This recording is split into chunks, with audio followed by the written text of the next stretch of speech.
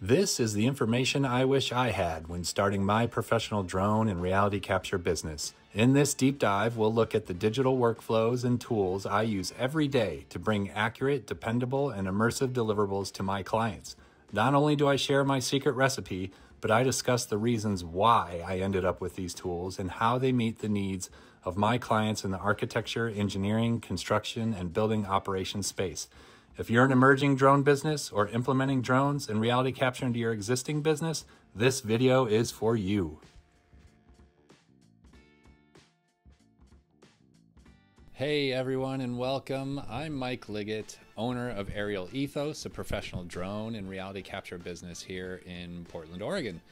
When I first started my business, I felt like I had a pretty sweet setup, ready to scale and meet all of my client needs I was feeling optimistic. Uh, optimism tends to be my default mode, but quickly found out that this industry has way more opportunity than I initially thought, and maybe, maybe my current tool set was not sufficient to meet these opportunities. I mean, we all got to start somewhere. Uh, there, there's definitely some key aha moments for me along the way that I thought would make a compelling story for folks endeavoring into this business or wanting to add these capabilities to your existing business. So grab a cup of coffee and let's peek under the hood as we dive into the tools which are essential to my professional reality capture business and the journey that led me to these tools. First, let's rewind a few years to 2020. Like most, I was looking for creative endeavors to occupy my mind from the upside down world of COVID that we were in. Uh, I'd always been fascinated by drones, and I knew that uh, they were becoming increasingly important in the architecture, engineering, and construction industry, which is where I had spent the last 26 years of my career. Uh, this idea had been building, but I, I felt overwhelmed with everything going on in the world. But this all changed one hot August night when I bolted right out of bed in the middle of the night with butterflies in my stomach and an intuition telling me to start that damn business. so I did. Uh, uh, you know, it was such a visceral experience that I that I just I couldn't ignore it. So juggling my existing job with this new venture was was definitely a challenge, but I was fueled by a passion for learning and a genuine desire to help the industry, which I had dedicated so much of my career to. My first priority: find the right tools uh, to streamline my operations. They had to be powerful while being user friendly and accessible from anywhere. So as a construction professional, I'll just say that my expectations around these tools are, are pretty dang high. Initially, I explored turnkey cloud based platforms, which process, then host the data. Uh, and they, you know, they also provide basic measurement and analytic tools on their web interface. Uh, Pix4D is, is a major player in the industry, and I opted for their advanced cloud solution as a starting point. Uh, they had a monthly subscription plan, which worked for my current needs. Uh, I also looked at Drone Deploy. It was tempting, but the price it was just a bit steep, and I didn't care for their GCP workflow and additional fees associated with GCPs. Uh, and also, they didn't seem too interested in servicing small and emerging businesses, which was a bit of a turnoff. So, uh, skipped on by Drone Deploy with Pix4D Cloud, I, as I got deeper into projects, I realized quickly that I needed more advanced tools and functionality, uh, particularly um, for cut fill analysis that, that they didn't have, which this led me to Esri's site scan solution, which as a GIS enthusiast, it seemed like an awesome fit. So I committed to an annual subscription, which came with a hefty price tag. Uh, some of the pros were unlimited cloud processing and of course the seamless transfer of data to the Esri ecosystem. And you know, I'll say I found SiteScan to be a, a solid platform, but it ultimately fell short on cost for one, and the limitations that are just inherent with all cloud processed options. So we're going to get into that here in a second. Uh, so up until this point, I had been avoiding the desktop processing softwares.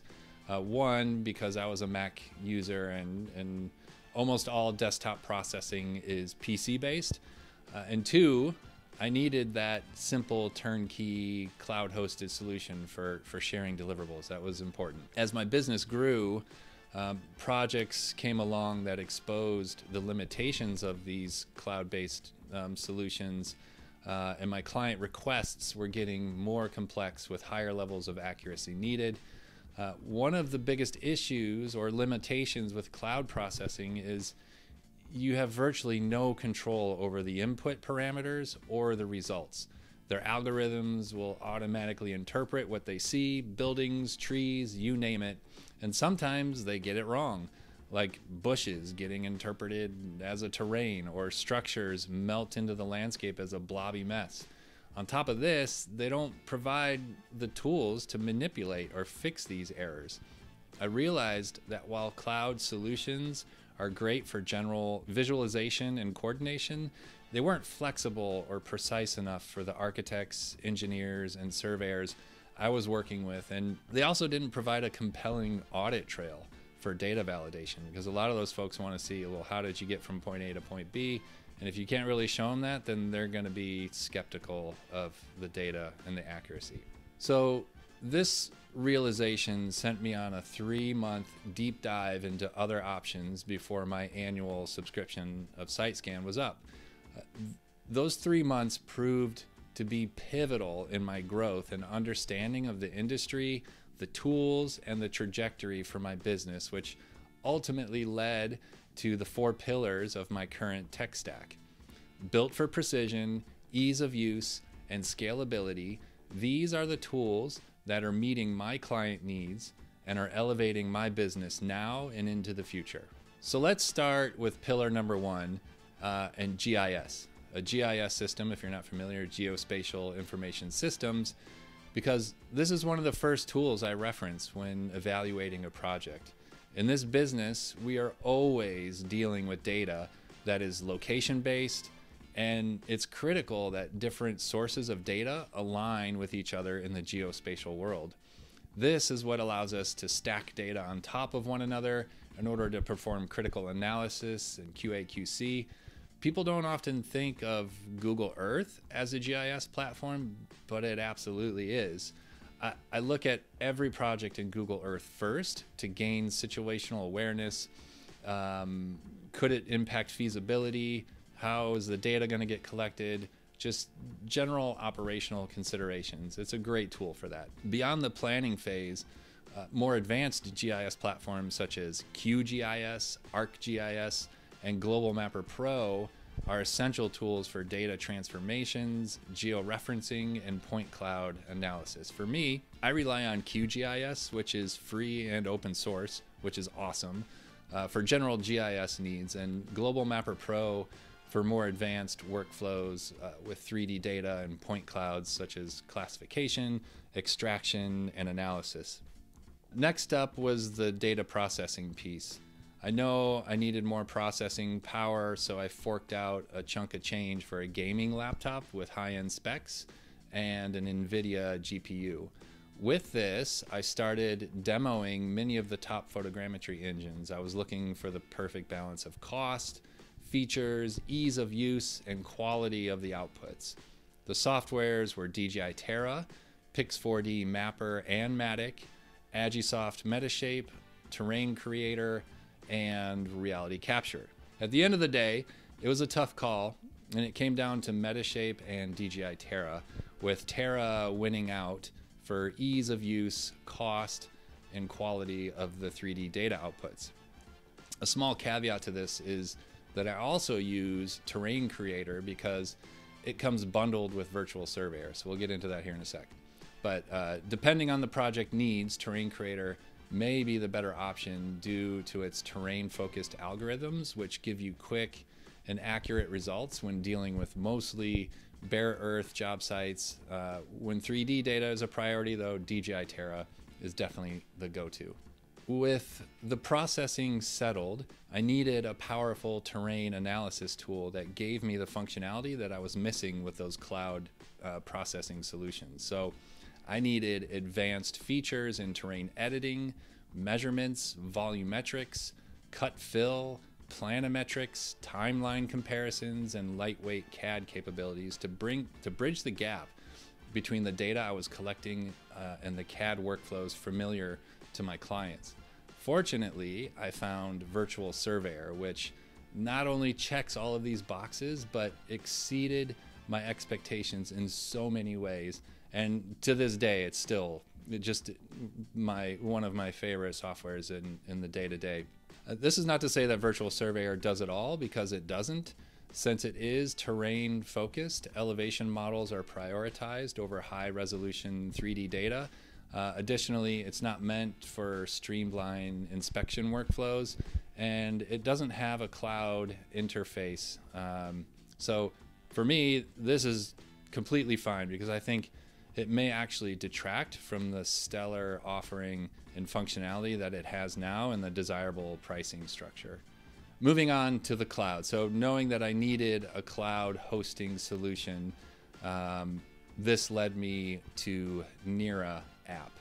Uh, this is where cloud collaboration, which, as discussed, is absolutely necessary, comes to life.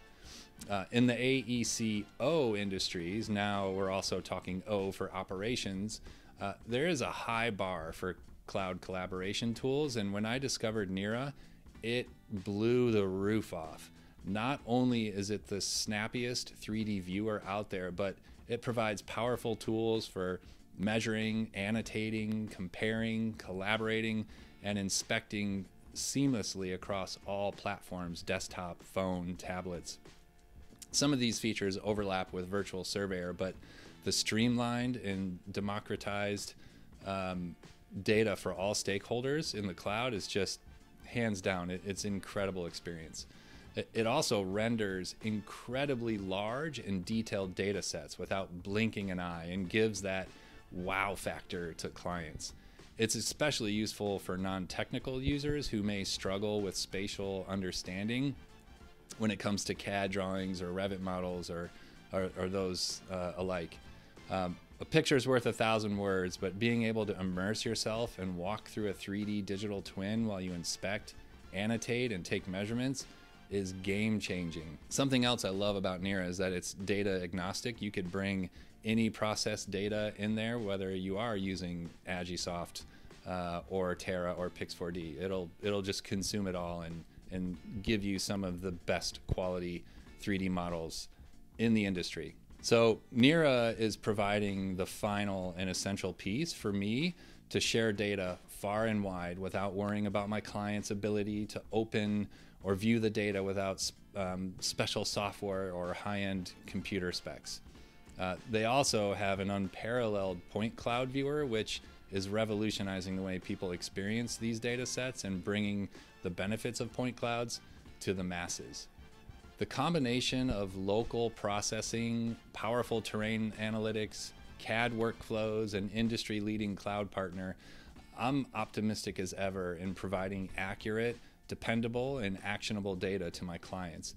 While it took quite some time for me to find the perfect recipe of software partners, I feel confident I've built a workflow that not only delivers, but will scale with my business and clients into the future. Hopefully, this helps those looking into tools for their reality capture needs and gives a solid foundation for your analysis. Uh, please reach out with any questions or to share your thoughts. And of course, we would love to be your reality capture specialist. So give us give us a call, give us an email, and uh, we'll we'll see you soon. Okay, cheers.